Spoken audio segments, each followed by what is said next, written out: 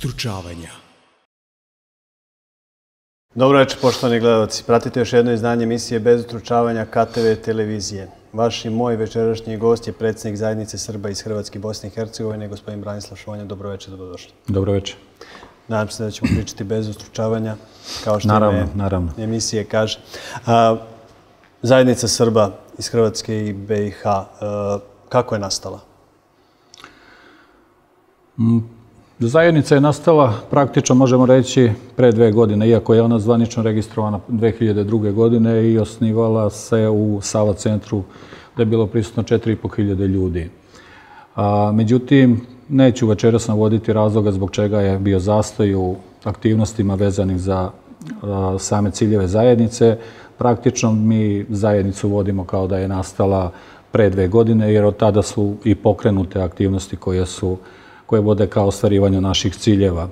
Šta je osnovni smisao stvaranja i kako je nastala zajednica? Dakle, mi želimo kroz zajednicu da ostvarimo istorijski san našeg naroda koji je još od pre 100 godina, možemo reći tačno, počeo u značajnjoj meri da se naseljava na ova područja. Od tog momenta do danas uvek je želja tog naroda bila i težnja da se ujedini, udruži i da zajednički nastupa ostvarivanju svojih kolektivnih interesa. Nažalost, do sada to nije bio slučaj, do sada to nije bilo moguće iz razno raznih razloga. Krivi smo i mi sami, dobrim delom, ali krivi su i drugi zato što su nam nisu dozvoljavali praktično da se ujedinimo. Mi smo krenuli u ovaj, rekao bih, odlučujući istorijski put i mogu vam reći da ćemo uspeti, da ćemo napokon ostvariti taj naš san i da ćemo se ujediniti. Unazad dve godine radimo dano noćno, možemo reći, i sama činjenica da se već ovu zajednicu uključilo u Vojvodini, gde su i naše aktivnosti usmerene, da je preko 200.000 ljudi, govori u prilog tome koliko ozbiljno radimo i koliko smo ozbiljno posvećeni svemu ovome. E, šta je cilj? Govorite o ujedinjenju. Kako bi trebalo da izgleda to ujedinjenje? Cilj jeste da u Vojvodini najpre, a kasnije u Beogradu, a posle Beograda i ostalim delovima Republike Srbije, kroz organizovanje odbora gradskih i opštinskih, praktično obiđemo, ajde tako da kažem uslovno, i posetimo svaku kuću u Vojvodini. I to već radimo u kancelarijama, tim takozvanim krajiškim kućama gde smo ih otvorili. A otvorili smo ih u 15 opština i gradova u Vojvodini. Za sada, naravno, nastavljamo dalje, već je već su aktivnosti za otvaranje tih krajiške kuća u drugim opštinama u toku, tako do kraja godine cilj nam je da imamo svih 45 opština pokriveno. Dakle, kroz te kancelarije one su zadužene da organizuju praktično sve poslove u tim opštinama i gradovima, a smisao tih poslova je praktično osnovni smisao najpre da evidentiramo svaku kuću koja vodi poreklo sa tih prostora. I ja moram da vam kažem da ono što je najvažnije za nas Mi tu ispitujemo ljude, naravno ispitujemo javno mnjenje te populacije, kako oni gledaju na tu ideju. Za sada imamo podršku između 98 i 100 procenata. Samo oni ljudi koji su već na nekim istaknutim mestima, koji su u foteljama, koji su praktično obezbedili sebe i svoju porodicu, koji ne žele da remete bilo šta, nisu za to ali takvih je 1 ili 2 procenta. Dakle, od tih 200.000 ljudi koje smo uključili, verujte, to je veoma, veoma zanemari broj oni koji nisu za tu ideju i koji se već nisu uključili u zajednicu.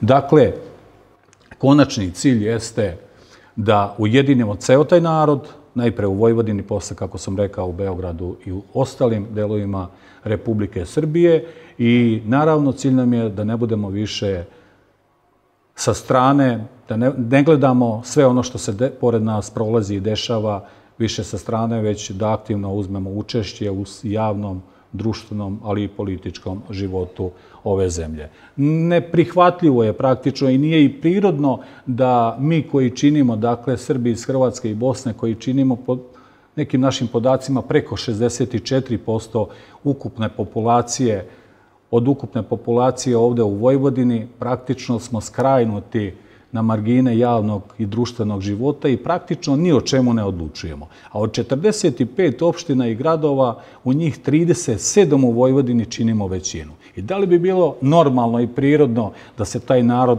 u tim opštinama i gradovima barem nešto pita, da pa da odlučuje o nečem kako treba da izgleda ta, to njegovo mesto, ta njegova opština, pa na kraju i cela Vojvodina kako treba da izgleda. Jel ne mislite valjda da taj narod koji čini apsolutnu većinu u Vojvodini, da njega treba neko pitati kako ta Vojvodina treba da izgleda ili ili oni ljudi koji, ili oni koji danas sebe predstavljaju tom takozvanom političkom elitom u Vojvodini, koji imaju podrške od 1, 2, 3 ili 4 procenta naroda Vojvodine, oni svakodnevno vidimo kako pričaju kuda to treba da ide Vojvodina, kako ona treba da izgleda i tako dalje. Dakle, cilj jeste da se aktivno uključimo u javni i društveni život, pa na neki način i u politički, iako to nije primarni, primarni zadatak, dakle i primarni cilj, ali i da ne dozvolimo više nikad da budemo sa strane i da gledamo kako drugi odlučuju o našoj sudbini na neki način smo i tako se i osjećamo i tako i jeste u stvari, mada to javno niko ne kaže, građani drugog reda. Pa zamislite, to je praktično, možemo poistovetiti svaku tu opštinu i svaku i celu Vojvodinu sa kućom, porodicom jednom, familijom jednom, pa ili prirodno i normalno da vam neko drugi određuje kako vi treba da, da uređujete svoje dvorište, svoju kuću, svoju porodicu, kako da odgajate ili da to vi sami radite. Dakle, nepravedno smo i poniženi, mogu slobodno reći, svih ovih decenija onazad. Krivi smo, rekao sam već, i mi sami. Podelili smo se na razne organizacije. Stotine raznih organizacija ima koje okupljaju taj narod iz Hrvatske i Bosne.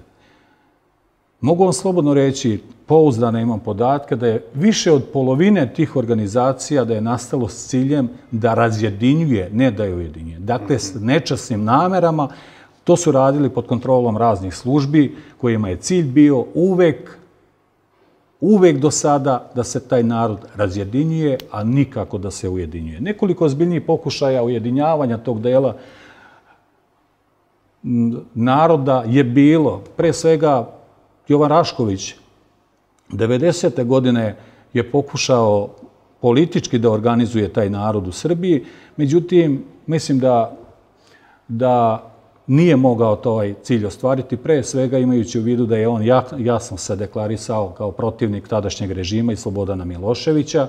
To je pod broj jedan, znamo i dobro kakvi su zakoni tad funkcionisali i kako je to sve funkcionisalo u to vreme, A s druge strane, mislim i taj sam okvir politički organizovanja tog dela naroda, samo taj da ne pruža, rekao bi, dovoljno komfora za sve opšte ujedinjenje. Jer mi ovde želimo da ujedinimo praktično sve potencijale, sve kapacitete sa kojima raspolažemo, i intelektualni, i materijalni, i kulturni, i društveni, i, i svaki drugi vid. Dakle, to politički ne možemo. Želimo da povežemo kvalitetnu dijasporu, želimo da uključimo je u javni život ovde Republike Srbije i tako dalje. Dakle, samo političko organizovanje ne može, ne može nam omogućiti to sve. Zato smo i krenuli ovakav vid organizovanja, a političke, političke ciljeve, eventualno i ono što je neminovno kako bismo ostvarili svoj cilj, ćemo raditi samo kao jedan segment u okviru ove postojeće zajednice kroz političko krilo koje već imamo kao zajednicu Srba. E, podsjetili ste na ono stvaranje Srpske demokratske stranke još 1991. godine ovaj, Jovana, Jovana Raškovića, ali mi je interesantno ovo da e, ste apostrofirali da su e, neke službe sprečavale da od Srba koji su poreklom iz Hrvatske i Bosne i Hercegovine se napravi organizovana i politički relevantna celina. Ko se plaši od toga i zašto je to sprečavano? Vidite, u to je vreme normalno bilo da se plaši onaj koji je vršio vlast u državi Srbije, to je bio Socialistička partija Sloboda Milošević. Znate kako, ako vam neko poput Jovana Raškovića, kojeg svi mi i dan danas smatramo duhovnim ocem našeg krajiškog naroda, koji je imao veoma veliku harizmu i uticaj, rekao bih, možda i najznačajniji tih 90. godina na celokupni taj prekodrinski narod, čak posebno krajiški, ali možemo reći preko Drinski, jer on je formirao SDS i u Bosni i Hercegovini. Dakle, ako vam on dolazi u Srbiju i registruje tada, poziva taj narod da se ujedinjuje i registruje SDS, to je prava opasnost za sve one koji su vršili tada vlast. I naravno da se traže modaliteti kako da se to uradi. Sigurno da su mnogo vešti oni koji se bave sa tim stvarima, koji su u raznim službama i mogu vam reći, a to se desilo i kasnije kad smo mi pokušali 2002. godine kad smo organizovali bili zajednicu, da praktično tu i nemate neko ko će vas zaštititi. Jer svi oni koji dele taj politički prostor, oni su ga već neko u manjoj, nekoj u većoj meri Zauzeli. već zauzeli i svako pojavljivanje nekog novog njima to njima remeti nikom ne ide u prilog. Tako da ste tu na čistoj vjetrometini i ne možete nikoga tražiti u pomoć, pomoć jer je dobiti sigurno nećete. Kome ste smetali 2002. 2002. godine u Savo centru smo okupili na osnivanju 4.500 ljudi. Dakle, sva pisma su čitana tad od, od predsjednika Koštunice do patrijarha, koji, oni koji nisu mogli doći, ali tu je bio i nasljednik Aleksandar i tako dalje. Bili su, dakle, već čina ljudi iz javnog, kulturnog i političkog života zemlje su bili prisutni tu. To je bilo strahovito, brzo se širila zajednica u to vrijeme i ta ideja i naravno tad postajate interesantni. Tad smo kao udruženje i naivno smo smatrali tad da drugi mogu uraditi, da ćemo mi davanjem podrške drugima, da će oni odraditi te poslove i to su oni činili tad.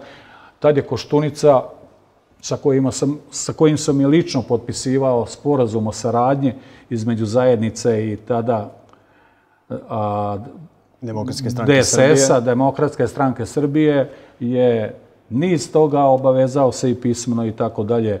Međutim, posle toga i ta smo mi tamo delegirali Sandu Rašković-Ivić, ona je preko nas ušla kao poslanik na listi DSS-a i tako dalje, ali znate kako se to radi? Sve vam obećaju. Praktično, i svi su tu isti, sve slažu na kraju. Ništa ne, ništa ne možete očekivati od njih. Praktično nikako. To su klasične prevare i nikad više taj narod ne sme dozvoliti, odnosno oni koji vode ta udruženja, pa koliko god da su ona snažna i jaka, kad ih oni pozivaju i posećuju, to se dešava samo pred, neposredno pred izbore, obećaju da ćemo nešto uradit ćemo i za vas i na kraju ih više ne poznaju. Praktično to se desilo i tada i odmah su istog sekunda rade neke ljude koje eventualno delegirate tamo, postavite, koji bi eventualno trebali da, da preko kojih bi trebali da ostvarimo te naše interese, naše ciljeve, oni ih odmah kupe ili ih pridobiju na razne načine, imaju moć, imaju snagu, imaju vlast, dakle tu nemaju nikakvih problema da pojedince, a pojedinci pojedinačno, bez kohezije, jedinstva, slabi su i oni imaju načina, laka meta za njih i tako dalje. Zato mi danas smatramo da samo ujedinjen taj narod, složan, ujedinjen, pod jednim krovom, zajedno, mora u svakoj opštini tamo gdje činimo posebno, gdje činimo većine, ali i drugim mestima gdje smo gdje se nalazimo, moramo svoje imati predstavnike koje ćemo direktno kandidovati, koji će nas predstavljati, pre svega koji će predstavljati ceo taj narod u toj opštini i gradu kroz zajednicu, a posle toga koje ćemo direktno kandidovati i glasati za njih. Ništa normalnije i ništa prirodnije. I to će se desiti. Nikakve dileme nema. Svi oni koji misle da je samo ovo još jedno udruženje ili još jedna ideja, varaju se. Kad pogledaju samo ovaj video snimak i ovaj spot koji smo već, koji Rekao bih i to je zabranjeno do sada bilo i zato vam se posebno i zahvaljujem vašoj televiziji. Vi ste prvi koji ste praktično, gde gostujem ja i koji gde imamo priliku da kažemo šta radimo i šta nam je želja. A vidjet ćete kakvi su to skupovi. Ja smatram ona za dve godine da su to trebali biti događaji od prvorazrednog političkog i društvenog značaja u Vojvodini. Jer da sigurno takvi događaji i takvi skupovi se paralelno nisu dešavali kod neki drugi. Kako funkcioniše vaše udruženje? Kako zajednica funkcioniše u svakodnevnom životu? Mi radimo, mi Znate kako, cilj jeste da širimo ovo sve što radimo. Dakle, da organizujemo odbore koji bi preu, treba da preuzimaju poslove objedinjavanja, udruživanja i registrovanja od kuće do kuće. Nije ni malo jednostavno. Najteži nam je posao taj od kuće do kuće. Dakle, nemate mnogo, bez obzira ljudi koji imaju ogromnu podršku, koju daju ogromnu podršku svemu ovome, ali najmanje imate onih koji žele da rade i koji žele da idu od kuće do kuće. Naravno, nađemo i njih i rade ti ljudi, ovaj, od, u, ali je veliki posao, ogroman posao. Na primjer, ovde Zrenjanin, mislim, poslednji podaci da su bili negde 2011. popisa da je bilo 123.000 ovaj, ovde građana. Dakle, to je nekih, ako podelimo sa tri, to je nekih nešto manje od u stvari nešto više od 40.000 ovaj, porodica, kuća, stanova, sve te kuće mi moramo obići. Dakle, ti ljudi moraju svaku porodicu, od jedan svaku ulicu, od jedan do 101 obići svaku našu evidentirati kuću koja je naša, koja nije. I mi ćemo imati veoma, veoma dragocen podatak. Niko nije mogao ni sanjati valda u Srbiji da će se smoći snage, da se svaka kuća obiđe svaka kuća da, će napraviti, da ćemo praktično napraviti ličnu kartu, kako mi kažemo, svake porodice. Znači i broj članova porodice te i sve ostali podaci koji su nam važni. I naravno, mišljenje kad je u pitanju ova ideja svakog tog pojedinca. Kad završimo to, nema dileme, mi smo tu i preuzimamo odgovornost. Pre svega za svoju sudbinu, ali naravno za sudbinu i ove pokrajine, Srbije i tako dalje. Dva pitanja vezana za to. Po, ovaj, pod jedan, kako selektujete ljude koji će voditi vaš odbor? Kakva treba da bude socijalna, ekonomska i politička struktura te osobe koje ćete postaviti na lokalu da predstavlja vašu zajednicu? Ni jednog čoveka, ni na jednom skupu, to ćete videti, videti i ovde kroz ovaj spot ili film kratak o, o zajednici gde praktično unazad dve godine gde smo prikazali sve naše aktivnosti. Nikada nismo isticali ni u Zrenjaninu, ni u bilo kojem drugom mestu gde smo održavali te skupove da nastupa čovek iz tog mesta. Zbog čega? Pa zbog toga što nećemo ni jedno ime da mi kandidujemo, da kažemo je taj, taj treba da bude i da ga mi postavimo iz zajednice, iz uprave, iz, iz sedišta zajednice. E, zato mi hoćemo, idemo nekim obrnutim poslom, radimo neki obrnuti posao koji nije uobičajen ku stvaranja takvih nekih sličnih organizacija. Dakle, najpre obilazimo svaku kuću, evidentiramo svakog pojedinca i onda prepuštamo vama u Zrenjaninu, odnosno u svakoj opštini, prepuštamo da oni same biraju. Naša će biti preporuka jedino da to budu uglavnom mladi, obrazovani ljudi koji do sada nisu imali priliku, jer im nije pružena prilika da se dokazuju u poslovima od javnog i društvenog značaja, jer kroz pomoć, naravno da će pomoći na takav način treba da pomognu, da se afirmišu i da pomognu sami sebi, ali mislim i tekako da mogu uključivanjem tih ljudi, koji će sigurno desetine hiljada biti uključeno u, u celoj Vojvodini, sigurno da može mnogo dobiti i lokalna zajednica, i samo mesto, i sama opština, grad, ali i cela pokrajina. Drugo pitanje je, e, vidite li rad drugih udruženja koji su možda izneverili očekivanja tih ljudi i kako povratiti to poverenje? Nema ništa od tih udruženja. Iskreno, svaka čast ima, možemo reći, nekoliko organizacija koje se bave poput Veritasa, Save Štrpca, zaista on radi veoma dragocen posao, veoma težak posao i kapa dole za, te, za njega i što se tiče tih stvari, ali on ne okuplja ljude, njegov, njegova motivacija, odnosno cilj tog udruženja nije da okuplja a, što veći broj ljudi i da ih pomaže na neke druge načine, ali pomaže državi Srbiji pre svega, ali i celom tom narodu kroz poslove koje obavlja. Ovo što se tiče ovih drugih nekih asocijacija, organizacija, udruženja, to je sve nicalo najvećim delom 90. godina i tako dalje, verujte. Imate, imate slučajeva da tri čoveka, jer dovoljno je za udruženje tri čoveka da organizuje se, tri čoveka organizuju tri udruženja i onda naprave i asocijaciju neku udruženja i to je sve rađeno, uglavnom one nemaju članova, nemaju ništa. Dakle, ne pocenjujem nikoga, ovde je nama dobro došao svi, ne treba niko da se osjeća ugrožen, već želimo sve one koji pošteno rade. Ima sigurno ljudi koji, koji su iskrenim namerama ovaj, osnivali ta udruženja želeći da pomognu, ali verujte, većina ogromna je bukvalno na papiru i oni žele, žele kako da kažem, da ušićare nešto, da dobiju nešto za sebe, pre svega da dobiju nešto iz budžeta namenjenog za te mm tih udruženja nevladinog organizacija, lokalnih, pokrajinskog pa i republičkog ako uspiju. I to je to. Nikako, po, nikakvih nekih značajnijih aktivnosti po tom pitanju. Mi imamo još Ovaj, tu želim isto posebno da to istaknem. Mi tu imamo, tobože, neke naše predstavnike, ali koji su samo sticajem okolnosti sa prostora Hrvatske i Bosne i ta se nalaze već godinama u više mandata u Skupštini Republike Srbije. To je sramota jedna. Te, te ljude ne bih, ne bih njihov rad uopšte ocenjivao, ali mi je stvarno poražavajuće da ti ljudi od kojih su taj narod koji je Golgote prošao, strašna stradanja, stradanja kako je malo koji narod u svojoj istoriji doživeo. Znate kako, samo kad stotine hiljada ljudi, 250 hiljada u jednom danu ili dva dana napušta sve ono što i pred očima beži da bi spasao glavu sebi i svojej porodici, beži, a bežeći gleda kako mu se uništava, pali, uništava sve ono što je decenijama, a možemo reći stoljećima, stvarao on, njegov, i njegovi, njegovi preci. Dakle, to je strašan zločin, to je, to je, to, ne nemam riječi kako bi opisao te strahote koje su ti ljudi doživjeli. Došli su ovde u Srbiju, napokon vide, prepoznaju te ljude da su u najznačajnijim državnim institucijama u Skupštini gdje treba, odakle treba da snažno se upućuje glas gde treba da se alarmira čitava domaća, ali i međunarodna javnost, da se rešavaju problemi, da se ispravlja ono što se ispraviti može. Oni su samo zadovoljili svoje potrebe, tu su zbog dobre plate, tu su zbog dobrog položaja i ništa praktično ni nikakve koristi nismo imali. I to je To je najsramnije što može čovjek sebi dozvoliti. Zato posebno je važno ovde da zaista u potpunosti i transparentno se radim.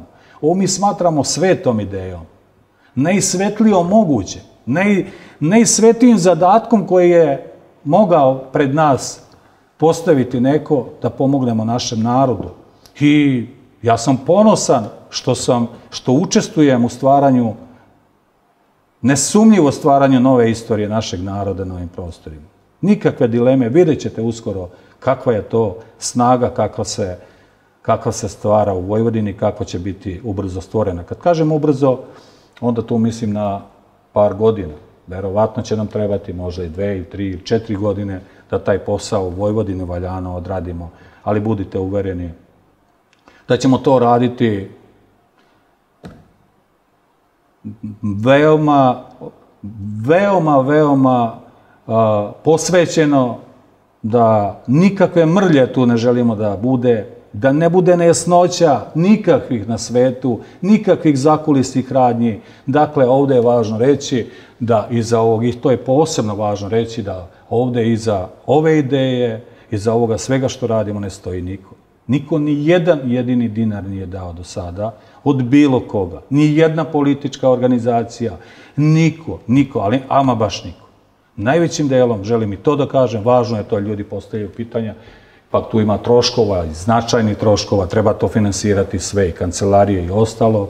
Ja se bavim od 90. godine privatnim biznisom, mogu reći uspešno, i najvećim delom ja to finansiram. To svi znaju, ja to svuda kažem, na svakom skupu, jasno, i glasno očekujem da će se pridružiti i drugi kad vide ozbiljnost svega ovoga što radimo i tako dalje. Tako da, eto, treba biti dovoljno i lud i hrabar možda i tako dalje da se upusti ovo sve. Problema, naravno, najviše ima problema kući sa ženom, kaže ti si lud, šta što radiš, šta ti je potrebno, kad nemaš ništa, jer nemaš, ali zaista ništa ne očekujem. Ali ama baš ništa, niti mi treba bilo šta. Ali zaista je tako. Jer se, znači, bavim se privatnim biznisom, ne interesujem. Ja sam bio godinu dana, godinu dana, imao sam oko 100.000 platu kao direktor pokrajinskog tog fonda za pomoć izglednim programima raseljenim licima. Nijednu platu nisam digao.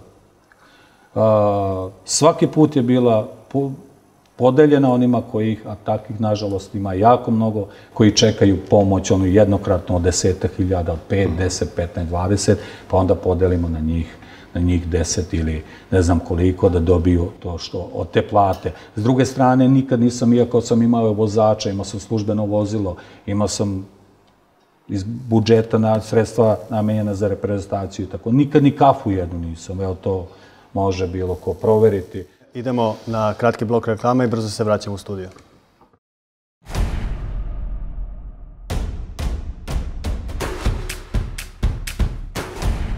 Bez ustručavanja. Ponovo smo u studiju KTV televizije, pratite još jedno izdanje emisije Bez ustručavanja. Vaš je moj gost, predsjednik zajednice Srba iz Hrvatske, Bosne i Hercegovine, gospodin Branislav Švonja.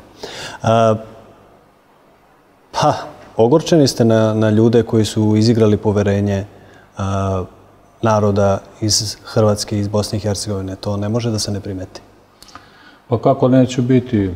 Ja samo delim mišljenje i ostalih ljudi koji su očekivali od tih ljudi mnogo, a nisu dobili ništa. Zaista ti su ljudi zloupotrebljeni praktično radi ostvarivanja nekih ličnih sobstvenih interesa. E, na sličan način su oni zloupotrebljeni i od političkih organizacija. Mm -hmm. To su uglavnom se dešavalo pred izbore uvek. I vidite, tu se od 90. godine na ovamo promenilo ili 90. ili 95. mada je rat već 91 krenuo i tad je bio već egzodus iz gradova, iz urbane sredina Republike Hrvatske.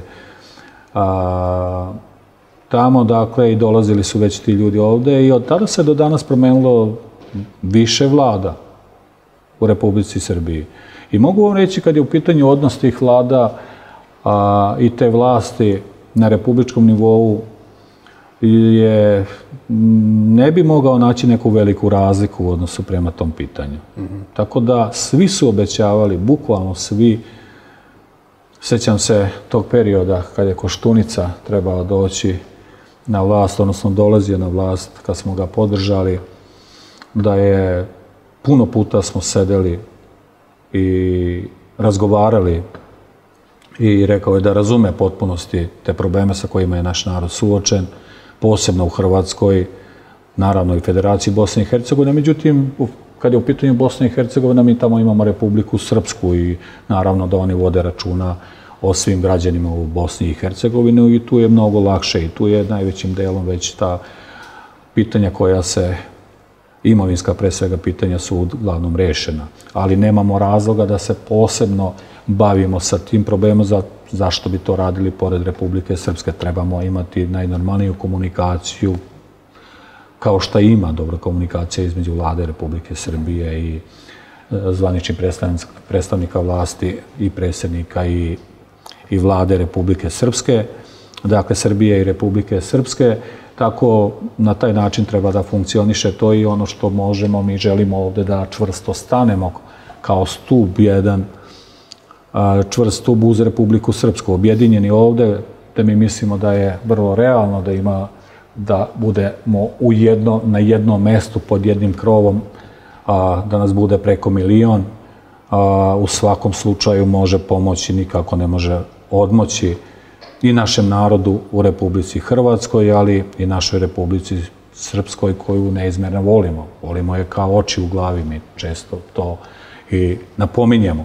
Mislim da, da, da smo na pravom putu da rešavamo pitanja u odnosu nasuprot oni koji ništa do sada nisu uradili. Dakle, verujte mi, ne volim ni da poredim uopšte to, jer tu nije bilo snage, niti su oni mogli, da su i najbolje namere bile, oni nisu mogli. Oni su mogli kroz udruženje eventualno dobiti neko svoje mesto, kao što je uradio jedan čovjek, neću ni da, ni da govorim, prikupio neke potpise i samim tim ušao u Skupštinu, evo već dva, tri mandata u Skupštini, njemu je super, pojavljuje se, dobija medijski prostor i kao nešto, evo na društvenim mrežama je aktivan i, i to je to. A praktično nikakve koristi, nikakve koristi od toga. Ali neću da poredim, jer nema reći. nikakve. Neću da, neću da imenujem, nisu ti ljudi zaslužili da ih imenujem, jer nisu ništa uradili.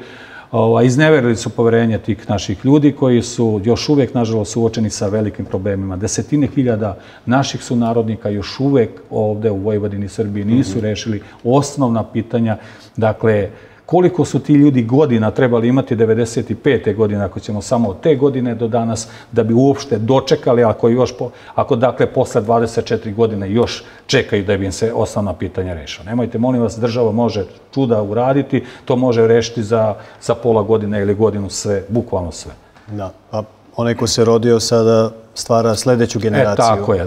Dakle, Dakle, onaj ko, ko se rodio u izbeglištvu sada je Jeste, ali znate kako ti ljudi se... Da, Postoji i druga generacija. U kakvoj su oni poziciji? Ovde su očekivali, došli su u Srbiju, naravno da su očekivali sve od Srbije. Očekivali su pomoć, došli su pre svega kod svoje majke, kako je mi svi krajišnici tretiramo.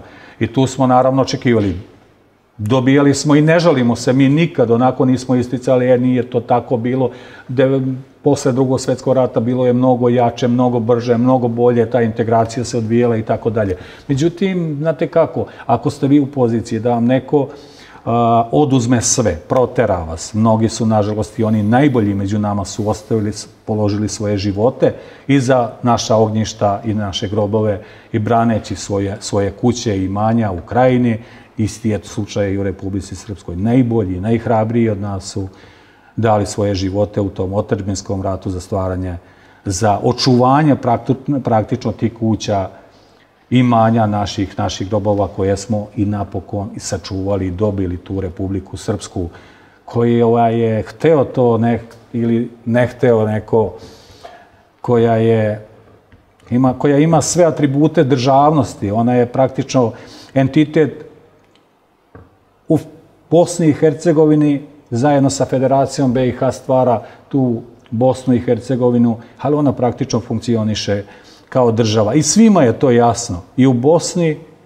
i u okruženju, ali u svetu da će to jednog dana biti nezavisna država. A naša želja i naš je san da se jednog dana probudimo, ako ne mi, ali naši potomci bez granica na Drini da to bude jedna država. I gotovo sam siguran da će i to biti i to je naš stan i zato se zalažemo. I zalažemo se da ne bude granica sa Crnom Gorom, već da to bude jedna država i jednog dana će to gotovo sigurno biti. Crna Gora, Srbija i Republika Srpska. Ima li išta prirodnije i normalnije i to je, to je gotovo, ovo je sve veštački. Dakle, ovo sa Crnom Gorom to je veštački i to je samo pitanje dana kad će ovaj režim ovaj, pasti i to će se ponovo narod... Neprirodno stanje. Neprirodno stanje, ali to će biti gotovo... Pa znate šta, ako bi se Republika Srpska pripojila ovaj, Srbiji, dakle tamo imamo oko milioni 300 hiljada stanovnika, a ovde ste rekli da imate milioni koliko ljudi prognanih iz... O, oko 2 miliona ukupno znači, u Srbiji, milioni 300 hiljada samo u Vojvodini. Znači, skoro pa... Vi bi se osjećali onda ugroženim. Pa, ne, ne ugroženim, ne, nego biste bili politička većina. Pa bit ćemo, mi u Vojvodini svakako smo većina i bit ćemo gotovo sigurno. I nema nikakve dileme, mi ćemo, mi ćemo, kad budemo spremni za to pojaviti se, nećemo pre toga. Moramo biti spremni. Nisam siguran da ćemo, i gotovo sam, ne, ne da nisam siguran, nego gotovo sigurno nećemo moći biti uh, spremni do sljedećih izbora u potpunosti, delimično da, ali ćemo vidjeti na koji način ćemo se uključiti. U svakom slučaju sigurno nećemo dati podršku nikom. U onoj meri gde budemo, u onim mestima gde budemo spremni, tako tu ćemo i nastupiti, u potpunosti spremni. U onim mestima gde ne budemo, nećemo, čekat ćemo ovo vreme. Vi mi ličite onda na jedan pokret koji ima i društveni angažman i političke ciljeve. Naravno, pa ne mislite valjda da ćemo mi, da smo mi samo neka humanitarna organizacija, da ćemo i dalje davati drugima glasove. Pa prethodno ste mi ličili na sindikate koje ove uh, partije obiđu pred izbore, pokupe glasove i, i ove, onda iznevere očekivanja. Ja njima svima poručujem, pošto oni svi dobro prate naše angažovanje, naše aktivnosti u proteka dve godine. Znaju da je ovo suviše ozbiljno. A i vi kad pogledate, samo to vidjet ćete koliko je kad vidite desetine hiljada ljudi koji su samo u proteke dve godine došli na naše skupove u Vojvodini, vidjet ćete da ne pričamo ovo u prazno. Ja njima poručujem svima da od toga nema ništa. Nikakva priča o nekoj podršci, blanko podršci i tako dalje nema ništa. Nikakva priča o podršci koju bi eventualno dali na izborima nekom nema nikakve veze. Mi nastupamo zajednički, snažno, autoritetom broja i kad se prebrojimo, mi želimo napred da se prebrojimo. Mi ćemo znati koliko nas je i koliko će zaokružiti naš broj unapred. Dakle, sa svakim pojedincom, svakim čovekom ćemo razgovarati ranije, praktično za ruku držeći se izaći i taj broj koji imamo napred znati koliki je broj. Dakle, nema od toga ništa, mi postojemo veoma uskoro najsnažnija organizacija, uključujući političke u Vojvodini, veoma uskoro. I svi oni koji misle na bilo koji način i sarađivati sa nama i na političkoj osnovi, na način bit ćete vi tu, nešto će vam dati i tako da ima kako. Mnogo smo mi teški ljudi, ne prihvatamo više to, znamo da smo izvarani, izmanipulisani, uh, ne znam, ne, ne smem dalje da govorim ništa. Od toga nema ništa, morat će sa nama ravnopravno sedeti i razgovarati o svemu. Inače, od toga nema ništa. Znate da su službe i danas aktivne. Slobodno nek rade, nema od toga ništa. Znaju da je to nemoguće. Pokušali su oni meni već službe, mada ne krijem direktno one koji vrše vlast, koji većinski su partneri u vladi a, Srbije nego neke druge, ali već sam ja ima problema i znali su da taj način sa mnom ne pali. Dakle, ja sam odlučio, ja sam, ja živim za ovo, ja živim za ostvarenje ove ideje i spreman sam sve dati da se ova ideja da se ova ideja realizuje i mislim da je to vrednije od bilo kojeg pojedinca. Tako da službe mogu raditi šta god, nikome ne naneti štetu nećemo. Od našeg udruživanja sigurno štetu niko neće imati. Da li politički će poremetiti možda neke, neke, neke organizacije političke koje su već rezervisale neki prostor za sebe, možda hoće, ali pojedinačno da će bilo kojem građaninu Vojvodine naneti bilo kakvu štetu, zasigurno neće. Od ovoga mogu imati koristi svi, ali baš svi našim udruživanjem pomažemo samima nama, našim udruživanjem pomažemo pokrajini, pomažemo gradovima u kojima živimo, mestima u kojima živimo, opštinama u kojima živimo i pomažemo isto tako Republici Srbiji. Sad mi vi kažete, molim vas, ovde su u pitanju zaista ogroman broj ljudi koji vodi poreko sa tih prostora. Ogroman broj dece koji su bili deca, sad su već odrasli, završili visoke škole. Radi se o desetinama hiljada ljudi. Da li vi sad mislite da smo mi toliko naivni da ti ljudi sad mogu ravnopravno učestvovati na konkursima koji se proforme raspišu kad su u pitanju zapošljavanje u javnim preduzećima. Evo, krenimo od ovoga grada. U institucijama ovoga grada pokrajinskim institucijama, republičkim institucijama. Da li ta deca koji završe najbolje, najviše škole sa najboljim ocenama, da li oni mogu se zaposliti tu? Ili su sva ta mesta već unapred rezervisana za tu takozvanu političku elitu i njihovu decu? Hoćete iskreno? Da. Meni deluju, ovaj, ne znam koliko imate sindrom crnogoraca da svakog imate na nekom mestu, ali možda to funkcioniše na nekoj ličnoj osnovi. Ovako, mislim da nemate istu šansu kao, kao ostali građani Srbije. E. Ako nemate ličnu prohodnost da vas neko negde postavi Tako. ili primi, ovaj, rekao bih da nemate iste uslove. E, želimo da to ispravimo. I samo da budemo ravnopravni sa ostalima. Da li tražimo mnogo? Ne traži. Ja želim Srbiju ravnopravne e, šanse za sve građane. Ali verujte da to svako od nas zna da je to nemoguće i želimo to da ispravimo. I možemo. Ali vidite, znači koliko je to jednostavno. I to mi na takav najjednostavniji način, evo i sad želim da pričam, ali svakodnevno na svim skupovima tako postavljamo stvari. Evo krenimo od Zrenjanina. Mi sad se ne pitamo ni za što o Zrenjaninu. Dakle, ni, ni, ne utičemo na bilo koju odluku, na bilo šta. Zato što smo razjedinjeni, zato što nismo zajedno, nepovezani i tako. A čim se udružimo, čim se povežemo, odmah se pitamo i odlučujemo o svemu. I tako je i u Srednjem Banatu, tako je i u Južnom Banatu, i Severnom Banatu, i Bačkoj, i na severu Bačke, i na i na svim drugim mestima. I zašto to ne bi uradili? Da li možete po toj vertikali ovaj, da ujedinite taj narod ili je taj narod već politički razjedinjen i već su ga razjedinile postojeće etablirane političke stranke? Već sam vam rekao, nama je najvažnije da razgovaramo sa svim tim ljudima. I da mu objasnimo šta je ideja i da čujemo njegovo mišljenje. Dakle, mi uzimamo ne samo neke podatke, blanko i tako dalje, mi imamo gotovo celu stranicu namenjenu za svakog pardon, pojedinca i svake porodice. Verujte mi, ovaj procenat koji sam vam rekao da je to procenat oni koji žele i koji sma, da to podrže u svakom smislu i na kraju sve i jedan je za to da mi treba imati svoje kandidate, svoje ljude i da sutra budemo i ove krajiške kuće koje sad otvaramo po raznim prostorijama da to treba da bude u okviru svake, svakog grada, svake opštine u Vojvodini. Ima li išta prirodnije već da tamo tu budu kancelarije, da, da to bude kancelarija gde će se rešavati te ti speč, specifični problemi, dakle i najveći problemi koji tište građane, to su građani ovoga grada.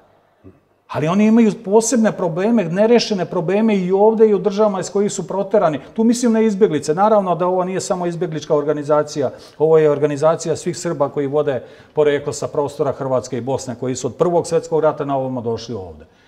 I vrlo je jednostavno. Dakle, oni kažu, ok, svi smo mi glasali za negde, svi smo bili, ali nismo imali ništa svoje.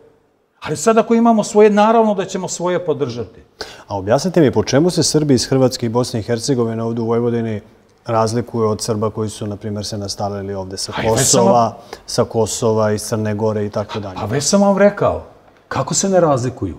Pa kako mi možemo biti ravnopravni ako još desetine hiljada ljudi nemaju krov nad glavom? Mm Je li mogu? No, mislio sam... A kako kad su ti ljudi proterani sa ti, kad nisu ni jedno pitanje u Hrvatskoj, najvećim delom u Hrvatskoj, ali i u Federaciji Bosne i Hercegovine, kad nisu rešili? Dobro, ali vi želite da obuhvatite i one koji su došli i posle Prvog svjetskog rata. Ja govorim o jednom kulturnom tako modelu. Je, ali gotovo, vidi, imaju postoji specifičnost naravno kod tih ljudi, ali verujte da gotovo nema čoveka koji nema neko i kad je i oni čak od posle prvog svjetskog rata pa nadalje koji nisu vezani na neki način pre svega imovinski interesno na svaki drugi način da to područje i koji nema neki nerešen problem.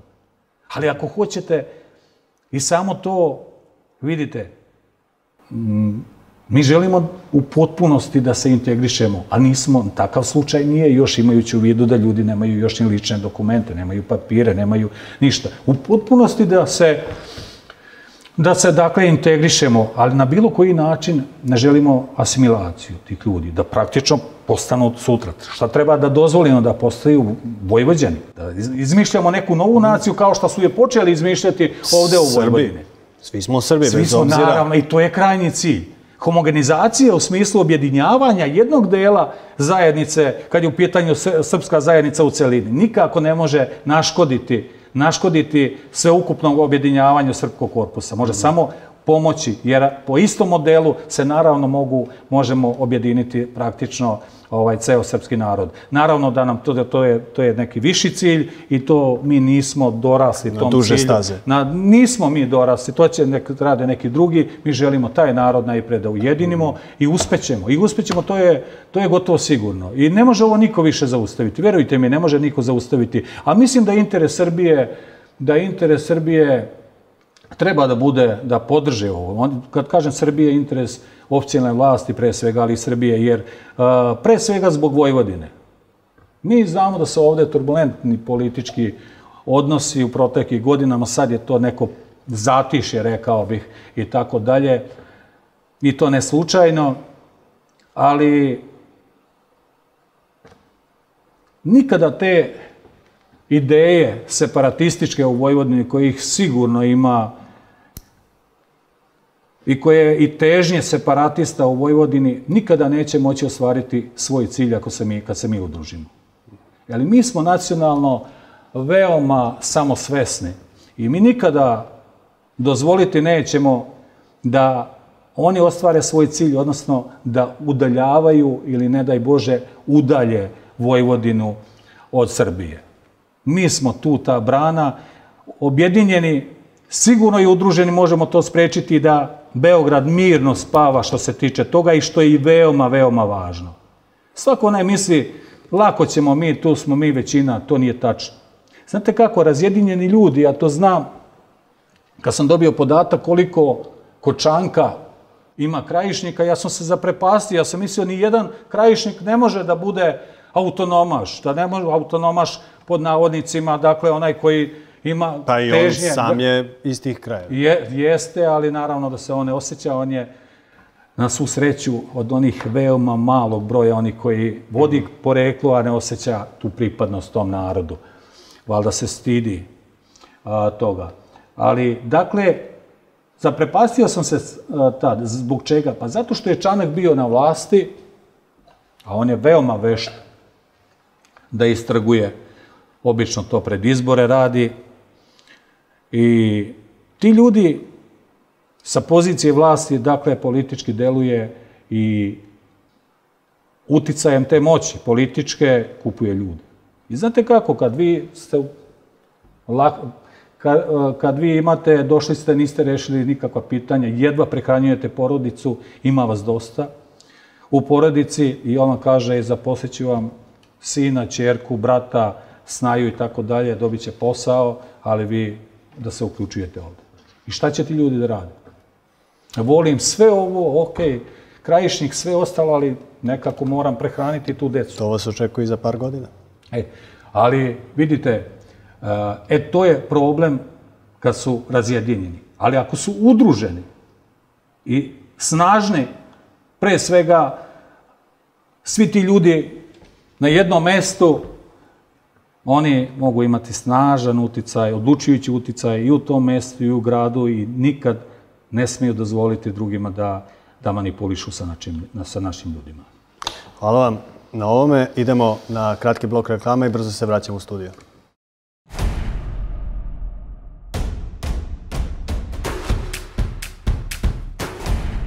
Bez ustručavanja. Završni deo emisije Bez ustručavanja. Na pravom ste mestu KTV televizija, vaš i moj gost, predsednik zajednice Srba iz Hrvatske i Bosne i Hercegovine, gospodin Branislav Švonja. Kada razgovarate sa tim ljudima, kažete da ste u stanju da obiđete svaku kuću, opštinu koja, koju posećujete. Koje su najčešće problemi iz svakodnevnog života koje vam poveravaju ljudi kojima se obraćate? Pa veoma mnogo problema. Kada iđemo na ljude koji, koji su tih nekoliko desetina hiljada, koji još nisu rešili osnovna pitanja, znate kako, grozno se osjećate kad uđete u neku kuću pa vidite da im kisne krov, da pomeraju stolice, krevete i tako dalje, da nemaju načina da, da reše to pitanje, jednostavno nemaju novca da taj krov zamena, da saniraju to sve i nemaju praktično novca za osnovne potrebe. Susretao sam se i na mestu, pa sam rekao, ovaj, u fondu tom pokrajinskom kad sam bio direktor, svakodnevno je tu dolazi ogroman broj ljudi i traži svaku vrstu pomoći, ljudi nemaju ništa i znate kako, veoma teško. Mm -hmm. uh, teško se osjećate, znate kako, mi bismo najviše voleli da možemo da imamo snagu da rešavamo te probleme, ali je nemamo i svim ljudima kažemo, ljudi, nemojte očekivati da ove kancelarije tamo gde smo ih otvorili, nemojte očekivati da mi sad možemo rešiti vaše probleme sve odjedan put. Veoma malo toga ćemo moći za početak uraditi. Mo, uradit ćemo u svakom slučaju više nego što obećamo. I tu radimo već, evo, naše kancelarije rade tu pravnu pomoć. Evo ono, to je neka, ajde, ne ističemo posebno kao veliko neke, da rešavamo neke velike probleme, ali recimo za mnoge ljude u Hrvatskoj sve naše kancelarije pribavljaju dokumente, papire, razno razne potvrde vezane za mirovine, vezane za radni staž, vezano za za, za ostale dokumente i tako dalje. Odlazimo jedan put sedmično preko granice, uplaćujemo za njih takse i šaljemo. I tu, eto, mogu, ako bilo gde mogu pohvaliti te institucije po Hrvatskoj, mogu vam reći da tu sarađujemo odlično. I oni nam bukvalno prosledimo im te uplatnice koje uplatimo, te takse i mailom završavamo, pošaljemo im zahteve, podatke i ljudi nam pošalju i ono što su do sada radili što su do sada radili, odlazili, utrošili 100, 200, 300 evra, otkud znam koliko dana im je trebalo da odlaze u Hrvatsku ili u Federaciju Bosne i tamo, a eto i mi pribavimo. Eto, to je neka pomoć koju možemo, ne možemo sad reći to je velika pomoć, ali ne možemo više.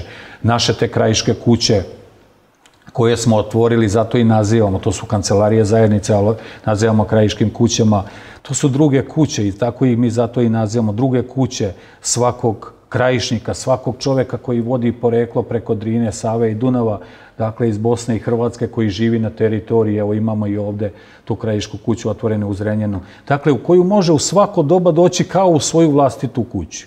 Znači, bez bilo kakvog ustručavanja. Tamo je to lice koje radi, ono je profesionalno lice, koje je jedno lice, profesionalno naravno da već se ovaj, uglavnom pojavljuju ljudi koji, se, koji, koji su tu u kancelarijama, koji rade poslove i volonterski, koji, koji ne, ne dobijaju novac za to, ali u svako doba mogu, mi kažemo, nogom otvoriti te kancelarije, ta vrata, jer je to njegova kuća i treba tako da se osjeća. Može doći u svako doba tamo, znači za stari ljudi koji bilo šta ovde, kad mu je pitanju Republika Srbija, znači bilo koji papiri, zahtevi da se uradi bilo šta, grad, Vojvodina i tako dalje, to isto u ime njihovo rešavamo, radimo, pa onom smislu kad nema ništa posebne potrebe, stariji ljudi koji trebaju da idu da plate komunalije ili račune za struju, bilo šta, doće kod nas sedeti, popiti piće, naši će otići, službenici otići umjesto njega to uraditi i tako dalje. A to je ono što možemo i to zaista želimo da ljudi po prvi put osete nešto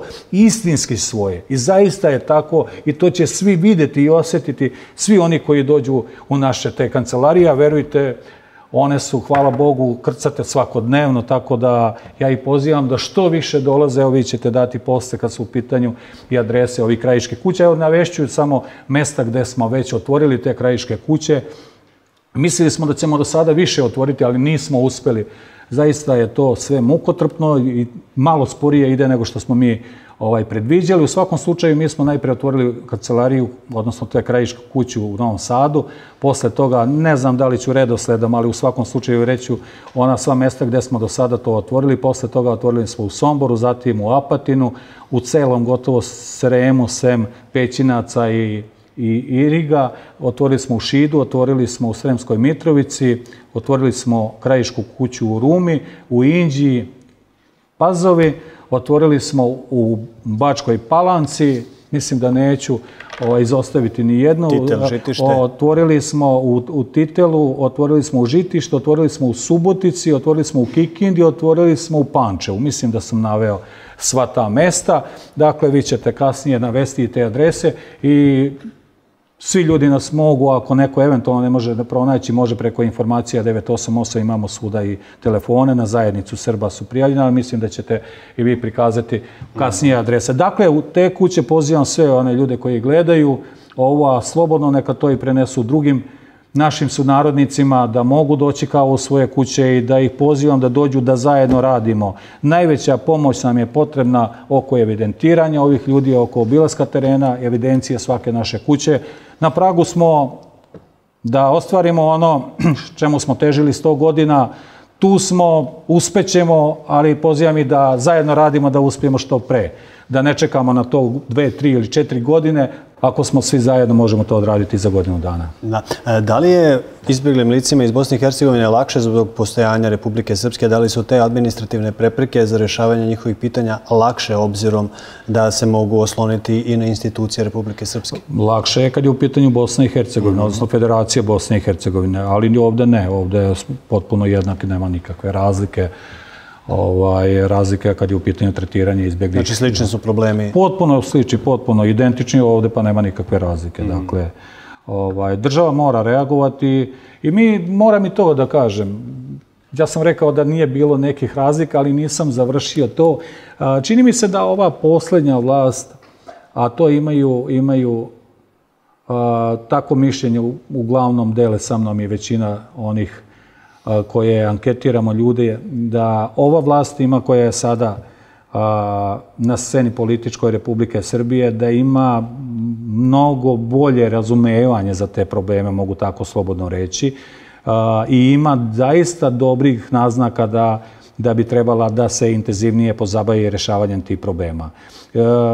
Izuzeću njih, ovu vlast u odnosu na sve one prethodne. Mislim da to sagledavaju, da gledaju drugim očima i mislim da su im namere zaista do, pozitivne. Međutim, mi nemamo vremena čekati. Mi vidimo, ne može Vučić danas, predsjednik Republike Srbije, pored Makrona, da on se bavi sa našim pitanjima. Pored Kosova, pored odlaska ili prima, nja predsjednika Kine ili Rusije da se bavi sa našim pitanjima. Dakle, mi želimo i da pomognemo na, na takav način, našim samoorganizovanjem, želimo da pomognemo i Srbiji, jer Srbija ima previše problema. Kad kažem Srbija, svi smo mi Srbija, ali mislimo na oficijalnu vlast u Republici Srbiji. Dakle, imaju mnogo problema i mislim da, da našim udruživanjem možemo mnogo, mnogo pomoći. Odmoći ne možemo zasigurno. Da li ta izbegla lica, dakle, u perspektivi postaju trajno naseljena lica ovde ili radite i na njihovom povratku? Mi ne možemo raditi na povratku. Mislim da od tog povratka više nema ništa.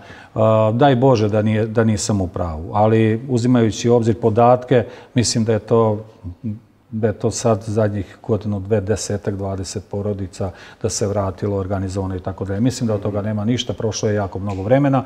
Međutim, mora se uraditi sve da se zaštite interesi i prava Srba, da im se vrate ta prava oduzeta i tu se mora najenergičnije a, to pitanje postavljati u najvažnijim institucijama, pre svega u Srbiji, ali po meni i šire. A, Hrvatska se mora naterati, pod navodnicima naterati, jer je očigledno da ona svojom voljom neće vratiti stanarska prava, da neće isplatiti neisplaćene penzije, da neće priznati konvalidaciju radnog staža, da neće uključiti u proces privatizacije srpski narod koji je diskriminisan i po tom osnovu i tako dalje i tako dalje. Dakle, kad je u pitanju zapošljavanje. Znate šta je Hrvatska radila? Ona je donosila zakone, sve pre, posebno je se to dešavalo pre ulaska u Europsku uniju. Sve ono što je bilo potrebno, oni su izglasali u Hrvatskom saboru i vlada donosila zakone. Međutim, to je sve ostalo mrtvo slovo na papiru. Dakle, oni ništa nisu ispunili. Evo, sam Ustavni zakon o pravima nacionalnih manjina iz 2002. godine, koji jasno definiše zastupljenost procentualnu zastupljenost u odnosu na broj stanovnika u organima državne uprave i lokalne samouprave, u pravosudnim organima, policiji i drugim institucijama na opštinskom nivou. Dakle, to je sve ostalo mrtvo slovo na papiru. Dakle, u potpunu se ne, ne poštuje ništa. Imamo Bečki sporazum iz 2002. Imamo Sarajevsku deklaraciju iz 2005. i tako dalje. Sve to gde se jasno kaže šta svaka država od četiri te potpisnice države Hrvatska, Bosna i Hercegovina, Srbija i Crna Gora moraju da urade po tom i tom pitanju. Ništa to nije urađeno. Dakle, ništa nisu uradili. Osećaj nesigurnosti, nažalost, još uvek je prisutan kod građana srpske nacionalnosti u Republici Hrvatskoj.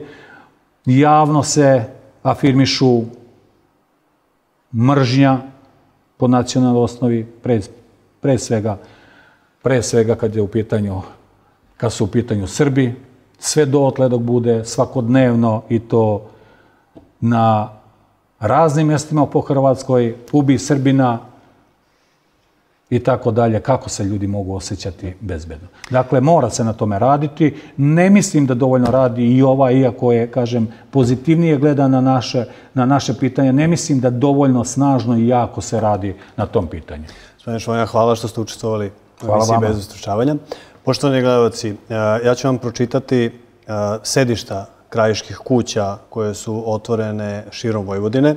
Dakle, u Novom Sadu to je Hadži Rubinova broj 1, Bačka Palanka, Kralja Petra broj 1, Šid Karadžorđeva 65, Sremska Mitrovica, Kralja Petra broj 1, Ruma, Veljka Dugoševića e, broj 161, Stara Pazova, Čirile Metodija broj 13, Indija, Novosadska 21, Apatin, Srpskih vladara broj 36, Sombor, Kneza Miloša broj 1, Pančevo, Maksima Gorkog broj 18, Subotica, Trg Lazara Nešića broj 2, Kikinda generala Drapšina 32, Zrenjanin Jevrejska broj 3, Žitišta Ive Lole Ribara broj 5 i Titel je paradni trg broj 1. U nastavku emisije gledajte promotivni film zajednice Srba i Bosne i Hercegovine i Hrvatske i njihove aktivnosti u prethodne dve godine.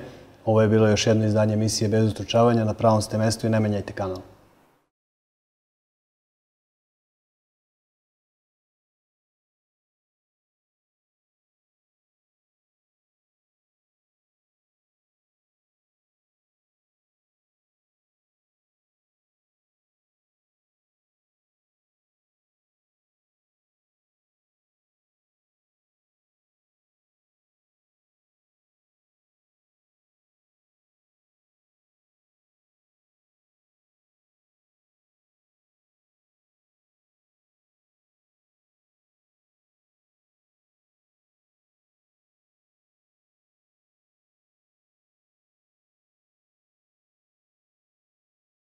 Zajednica Srba, Hrvatske i Bosne i Hercegovine.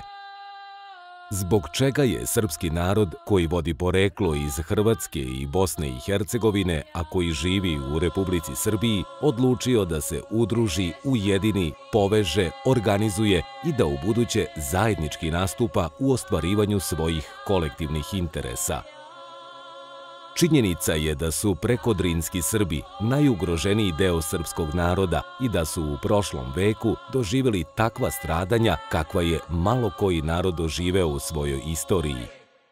Taj deo srpskog naroda ima još uvek mnoge nerešene probleme, kako u Republici Srbiji, tako i u republikama Bosni i Hercegovini i Hrvatskoj – Napokon shvata da nema pravo više da ćuti, da ne sme dozvoliti da bude nemi posmatrač svega onoga što se pored njega dešava, da bude i dalje na margini javnog i društvenog života i da i dalje o njegovoj sudbini drugi odlučuju, već da udruživanjem i samoorganizovanjem mora sve to preokrenuti i napokon svoju sudbinu uzeti u svoje ruke. Istorijski proces objedinjavanja i organizovanja tog dela srpskog naroda započinje u severnoj srpskoj pokrajini Vojvodini, gde Srbi iz Hrvatske i Bosne i Hercegovine čine oko 64% od ukupnog broja stanovnika, a od ukupno 45 opština i gradova, koliko ih ima u Vojvodini, u njih 37 čine apsolutnu većinu. Bez obzira na ovaj podatak, Srbi iz Hrvatske i Bosne i Hercegovine nikad na bilo koji način u Vojvodini nisu odlučivali o bilo čemu, niti ih je bilo ko konsultovao za bilo šta. Razjedinjen i neorganizovan krajiški narod nije imao snage da se nametne kao relevantna društvena činjenica i kao takav bio je pogodan za razne zloupotrebe, kojima je decenijama koje su iza nas bio izložen. Svaki pokušaj ozbiljnijeg udruživanja prekodrinskih Srba u Srbiji u prošlosti bio bi raznim metodama, raznih interesnih sfera onemogućen i zaustavljen. Imajući sve to na umu i znajući da je to od životnog značaja za njih i njihove potomke, posle tačno jednog veka Kako se po prvi put u značajnijem broju i počeo doseljavati nova područja, srpski narod iz Hrvatske i Bosne i Hercegovine u julu mesecu velikim skupom u Somboru odpočinje istorijsko okupljanje i organizovanje u Vojvodini. Taj veličanstveni događaj u Somboru, na kojem se okupio ogroman broj krajišnika, je bio i pravi pokazatelj postojanja ogromne volje i želje za ujedinjavanjem i organizovanjem. U svakom mestu su tražene najveće sale koje postoje, ali ni jedna nije bila dovoljno velika da primi sve one koji su želeli da se priključe i podrže sve ono što radimo. Nakon toga organizuju se i održavaju se skupovi gotovo u svim opštinama i gradovima koji su ujedno bili i najmasovniji skupovi koji su održavani i najznačajniji događaji od tog momenta do danas u Vojvodini.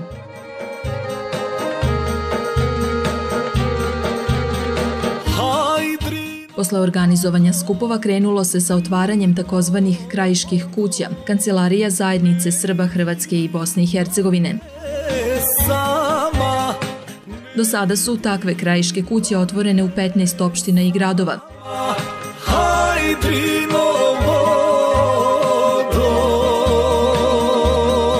Prva je otvorena u Novom Sadu, zatim u Somboru, Apatinu, Rumi, Šidu, Bačkoj Palanci, Sremskoj Mitrovici, Inđiji, Staroj Pazovi, Zrenjaninu, Kikindi, Subotici, Pančevu, Žitištu i Titelu.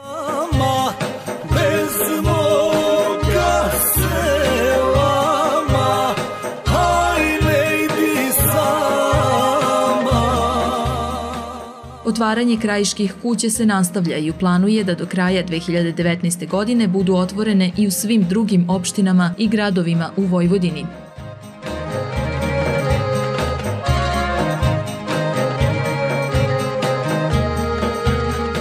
Do sada je zajednicu Srba, Hrvatske i Bosne i Hercegovine, koja je nosilac i organizator ovih aktivnosti, podržalo i uključilo se u nju preko 200.000 prekodrinskih Srba je selam ćeš mi dragom selam ćeš mi Taj broj se iz dana u dan uvećava. Do sada je zajednica Srba ostvarila neposredan kontakt sa svega 20% svojih sunarodnika, tako da se sa pravom očekuje da će broj onih koji će podržati ovu ideju u Vojvodini biti višestruko veći. Ili ili nek me se prođe a ili nek dođe U svakoj opštini, u svakom mestu, naš narod će imati priliku da sam bira svoje predstavnike koji će u buduće voditi zajednicu Srba i koji će, kada za to dođe vreme, u opštinama i gradovima, gde činimo apsolutnu većinu, preuzeti vođenje istih.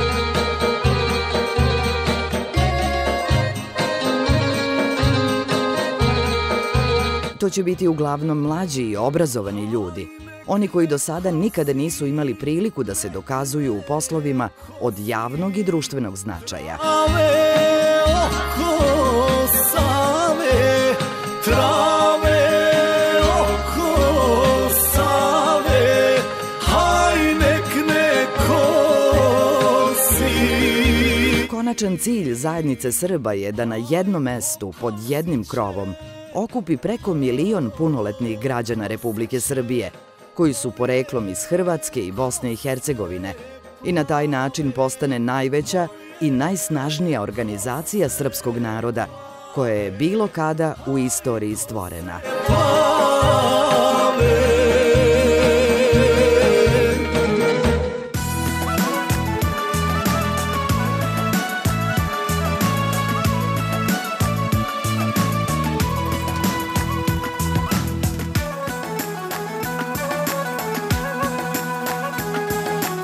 Procenat onih koji su kontaktirani, a koji podržavaju ovu ideju je gotovo 100%, tako da se može reći da je ova ideja prihvaćena kod tog dela srpskog naroda opštim konsenzusom. Leti visoko, ja bi znao gdje bi otišao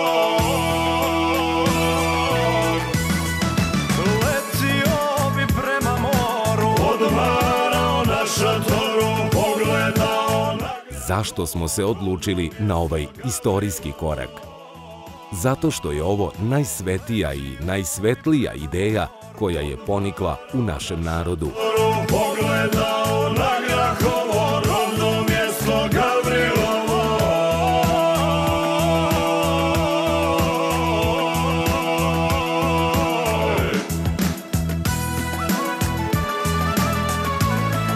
Zato što udruženi možemo sve zato što ne želimo više da budemo građani drugog reda. Zato što ne želimo više da o našoj sudbini odlučuju drugi. Da sam soko, da leti visoko, ja bi znao gdje bi otišao, da sam soko. Zato što hoćemo da našu sudbinu uzmemo u naše ruke. Zato što ne želimo više da stojimo u redovima za pomoć Zato što ne želimo više da molimo. Zato što ne želimo više da prosimo. Megniju gledao bi sa Krčića, zemlju Vuka Mandušića.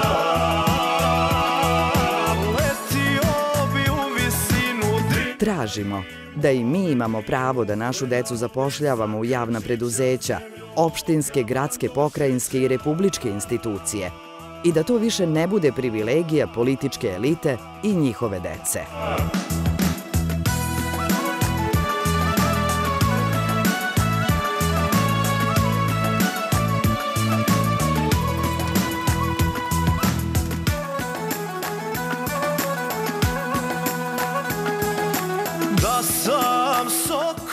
Hoćemo da u svim opštinama i gradovima u Vojvodini i ostalim delovima Srbije odlučujemo u odnosu na procenat koji činimo od ukupnog broja stanovnika. Da leti visoko, ja bi znao gdje bi otišao.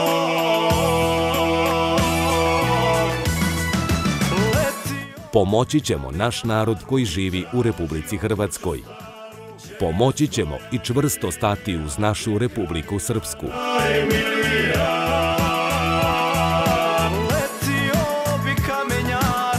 Tražio kuću staru, gdje je stojani.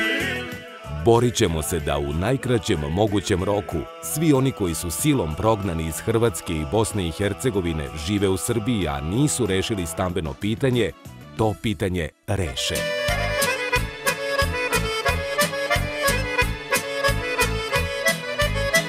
Ostvarit ćemo najbolju moguću vezu sa našom dijasporom. Odmah, bez odlaganja ćemo pomoći onima kojima je pomoć hitno potrebna.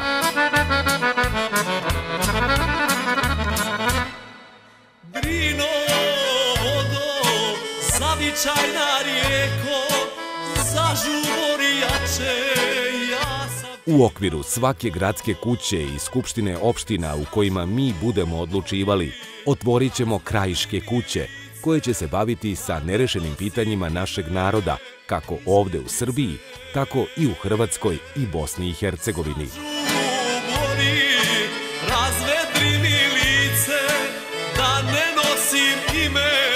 Čitav jedan vek smo čekali na ovaj trenutak. Punih sto godina smo sanjali ovaj san – ostvarimo ga zajedno. Ne dozvolimo da nas bilo ko i bilo kada više u budućnosti ponižava. Budimo ponosni na činjenicu da svi zajedno ispisujemo novu istoriju našeg naroda na ovim prostorima. Želja nam je da ujedinjeni i udruženi kroz zajednicu naši potomci ljubomorno čuvaju i neguju našu kulturu, našu tradiciju, naše običaje. Održavaju čvrste veze sa rodnim krajem i našim narodom u Bosni i Hrvatskoj. Da čine sve da se jednog jutra srpski narod probudi bez granica na Drini i da to bude ostvarenje tog drugog sna kojeg svi mi zajedno sanjamo. Želja nam je da ova zajednica traje idućih hiljadu godina i da našem narodu osigura blagorodnu i prosperitetnu budućnost. Jedno je sigurno, vaša zajednica Srba, Hrvatske i Bosne i Hercegovine vas nikada neće izneveriti i razočarati, jer ovo što radimo za nas je sveta misija. Tako nam Bog pomogao.